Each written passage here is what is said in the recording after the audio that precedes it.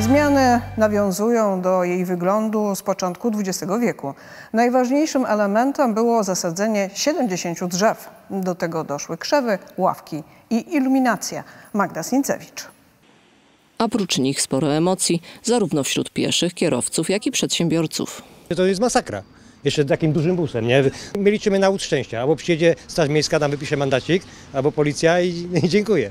Mieszkańcy może i dziękują za rewitalizację jednej z głównych ulic w ścisłym centrum miasta, nie mogą jednak przeboleć jej konsekwencji. Drzewa są wszędzie potrzebne, natomiast parkowanie w Katowicach jest w tej chwili dramatem.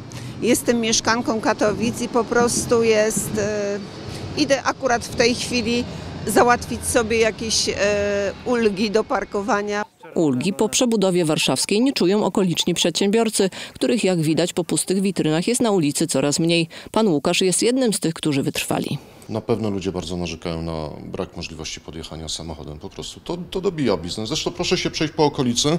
Zobaczycie Państwo, że część działalności gospodarczych została zawieszona.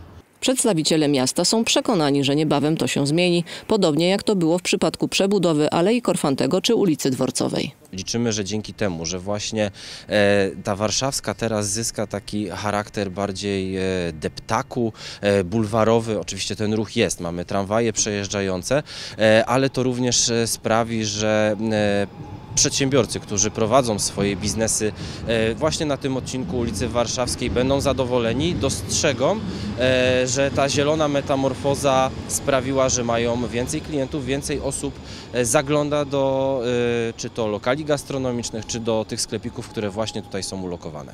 Na to pewnie trzeba będzie chwilę poczekać, gdy aura już będzie sprzyjająca, a zasadzona właśnie zieleń zacznie cieszyć mieszkańców.